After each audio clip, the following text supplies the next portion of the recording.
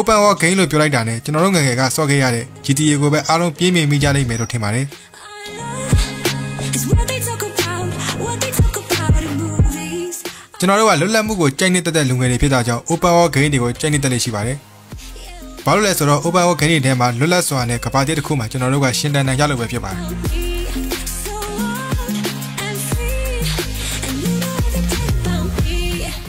ခုဆို game တွေကတိုးတက်လာတဲ့အမြတ် Open World Game တွေကလည်းကျွန်တော်တို့ရဲ့လက်ထဲကိုရောက်ရှိလာပါပြီ။ဒီနေ့ဗီဒီယိုမှာတော့ mobile phone ပေါ်မှာဆော့လို့အကောင်းဆုံး Open World Game 5ခုနဲ့ bonus game တစ်ခုစုစုပေါင်း6ခုကိုပြောပြပေးသွားမှာဖြစ်ပါတယ်။ဘာ game တွေဖြစ်မလဲဆိုတော့ကိုမပြောပြခင်ကျွန်တော်ရဲ့ channel လေးကိုလည်း So please sub subscribe sarakar sabarakaraay sarak sarakap whatever. number 5 Gedara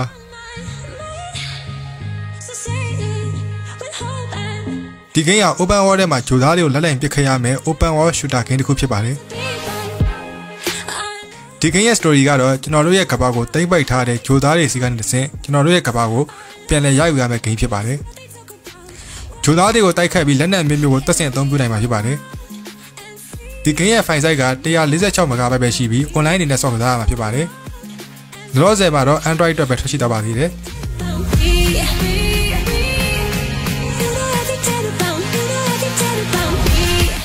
Number 4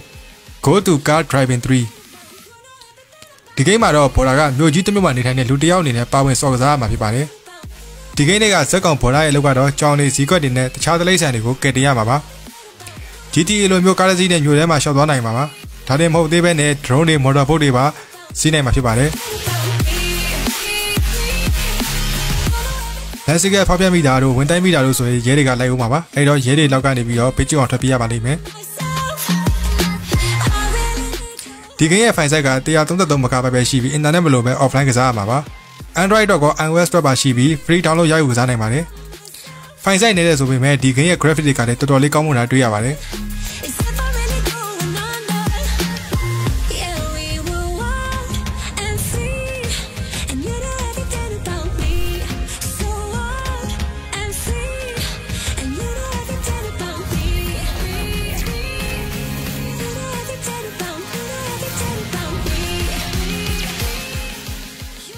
number 3 Dismantle ဒီ game ကတော့ open world spy ပဲ game တစ်ခုဖြစ်ပါတယ်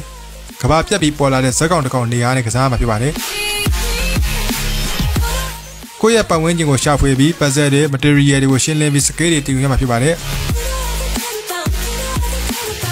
အသက်ရှင်ဖို့အတွက်ငါးဖန်စောက်တော့မှာဖြစ်ပြီးတခြား activity တွေကိုလည်းလုပ်ဆောင်ရမှာဖြစ်ပါတယ်။ဒီ game က offline game တစ်ခုဖြစ်ပြီး file size အနေနဲ့953 MB ရှိပါတယ်။ iOS မှာပဲကစားလို့ရမှာပါ။ Number 2 Gunfire Fire Fury ဒီ game ကလည်း GTA နဲ့တော်တော်လေးဆင်တူပါတယ်။ဒီ game က gain တွေကိုစီမံခန့်ခွဲရမယ့် game တစ်ခုဖြစ်ပါတယ်။ game ရဲ့ပြင်အစင်ဇက်ကောင် graphic တွေက GTA နဲ့တော်တော်လေးဆင်တူပြီး RPG ပုံစံစော်ကစားရမှာဖြစ်ပါတယ်။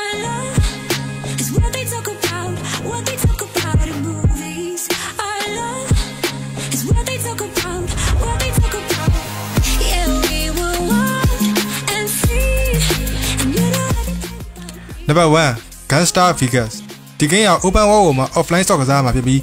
gameplay တွေ graphic တွေကလည်းတော်တော်လေးမိုက်လို့ number 1နေရာမှာထားတာဖြစ်ပါတယ် Everything about, you know everything about me. 2013ထဲကထွက်ရှိထားတဲ့ game ဖြစ်ပေမဲ့ဒီ game ရဲ့ graphic တွေ gameplay တွေကအခုထိခေတ်မီနေတဲ့ game တစ်ခုဖြစ်ပါတယ် You know everything about, you know everything about me. ဒီ game မှာ Fara က Las Vegas မြို့ရဲ့ gangster တယောက်ဖြစ်လာဖို့ကိုစ조사ပြီးတော့စောင့်ကစားရမှာပါ you know ဒီ game ထဲမှာပါတဲ့ကားတွေရှင်တွေကတော်တော်လေးကိုလမ်းပါတယ်ဒီလိုလမ်းစားရင်တွေနဲ့ open world ထဲမှာစိတ်ကြိုက်လေးလို့ရမှာဖြစ်ပါတယ်ဒီ game ရဲ့ file size က 2K ကျော်ရှိပြီး Android တော့ကော iOS တော့ကောရှိပါတယ် I really need your help. I'm going under. Save me from myself. bonus Gun Aspire 2ဒီ game ကလည်း Android နဲ့ iOS နှစ်မျိုးလုံးအတွက်ထွက်ရှိပြီး file size အနေနဲ့ 155MB ရှိပါတယ် offline ကစားနိုင်မှာဖြစ်ပါတယ်တပ်ပါစံ shooter game မျိုးစားဖြစ်ပြီးတော့19ရာစုမှာစမ်းရည်တည်ထားပါတယ်ဘော်ဒါက19ရာစုရဲ့ open world ထဲမှာစုရေးထုတ်ထားတဲ့လူဆိုးတွေကိုလိုက်လံဖန်ဆီးရမှာပါ PS1 ရဲ့နောက်ဆုံးထွက်ရှိထားတဲ့ Lightest Music Video တွေက19ရာစုရှိကိုဒီ game နဲ့တွားရောက်လည်ပတ်နိုင်ပါတယ်